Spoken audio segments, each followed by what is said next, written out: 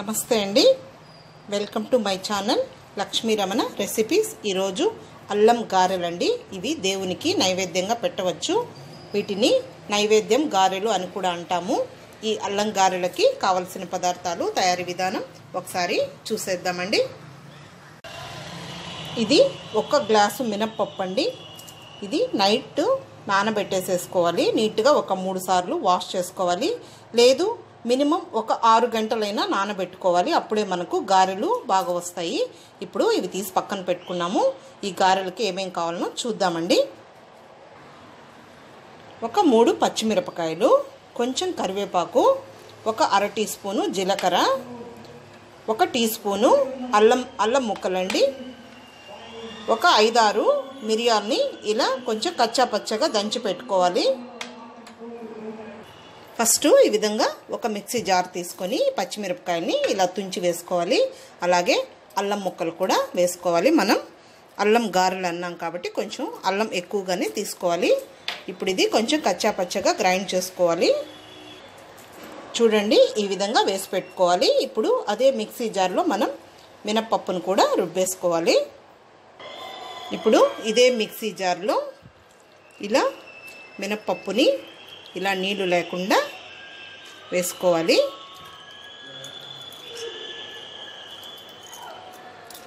అవసరం అనిపిస్తే కొద్దిగా నీళ్ళను కూడా వేసుకోవచ్చు. లేదు మనకు ఇప్పుడు నీళ్ళు కొద్దిగా ఉంటాయండి. ఇప్పుడు దీన్ని మిక్సీ వేసేసుకుందాము.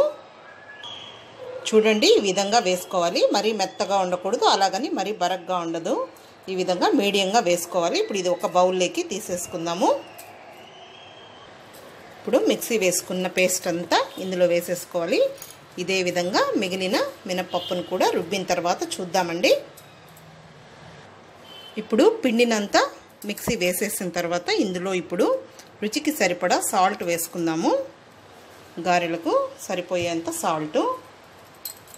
అలాగే మనం మిక్సీ వేసుకున్న ఈ పేస్ట్ను కూడా ఇందులో వేసేయాలి.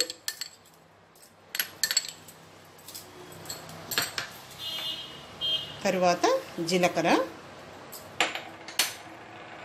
మిరియాలండి. మిరియాలని కొంచెం క్రష్ చేసేసుకోవాలి. అలాగే కరివేపాకు. ఇందులో కావాలంటే వంట సోడా ఒక చిటికెడు వేసుకోవచ్చు. నేనైతే వేయలేదు. ఇప్పుడు ఈ పిండినంతా బాగా మిక్స్ చేసేసుకోవాలి. మనం ఎంత బాగా మిక్స్ చేస్తే మనకు గారెలు అంత బాగా వస్తాయండి ప్లఫీగా అయితే పిండిని కరెక్ట్గా చూసుకోవాలి. మరి నీళ్ళగా ఉంటే గారెలు సరిగా రావు. ఇదంతా కూడా కలిపేసుకోవాలి.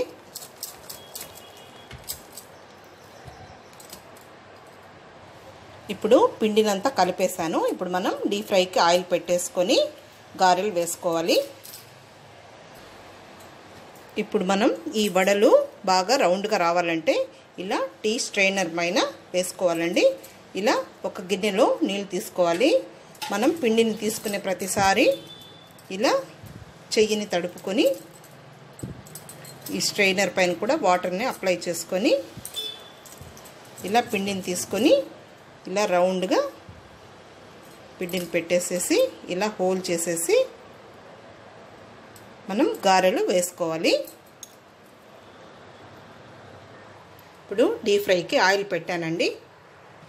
ఇప్పుడు పిండిని ఈ విధంగా తీసుకొని చేతికి నీళ్ళని అద్దుకోవాలి. ఇలా హోల్ పెట్టేయాలి.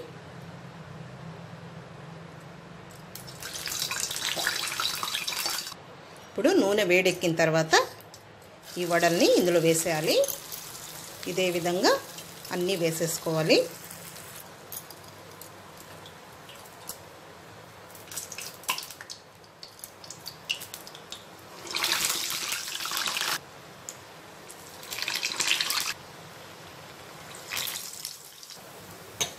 ఇప్పుడు మీడియం ఫ్లేమ్లో మంచి కలర్ వచ్చేంత వరకు వీటిని వేయించుకోవాలండి. ఇలా వన్ సైడ్కి తిప్పుతూ కాల్ చేసేసుకోవాలి. ఇలా టీ స్ట్రెయినర్ పైన వేసుకుంటే గారెలు చక్కగా వస్తాయండి. వడలు రాని వాళ్ళు కూడా చేసేసుకోవచ్చు ఈజీగా. అయితే వేసేటప్పుడు జాగ్రత్తగా వేసుకోవాలి.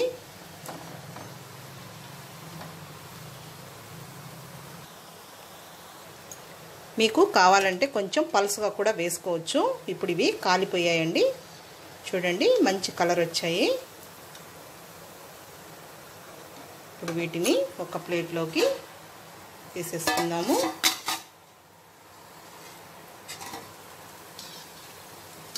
ఇదే విధంగా మిగిలినవి కూడా కాల్ చేసేసుకోవాలి.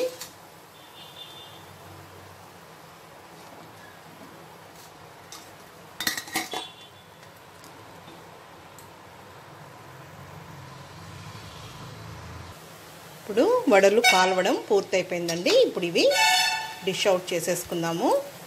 అల్లం మినపగారెలు చాలా హెల్దీ ఫుడ్ అండి. పిల్లలకి పెద్దలకి అందరికీ.